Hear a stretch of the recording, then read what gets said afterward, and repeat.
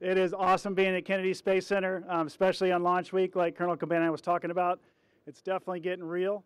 Um, our crew is really well trained, extremely well trained. Great to see everybody here. It's really great to be here. It's we come in uh, on the on the plane over here, and we got to, to fly by the pad and see our rocket getting ready to go, and it's just an amazing feeling. I've gotten to do that before, and there really there's nothing like it when you look out the window and see a spaceship getting prepared and realize that uh, you're going to be riding on it in a few days.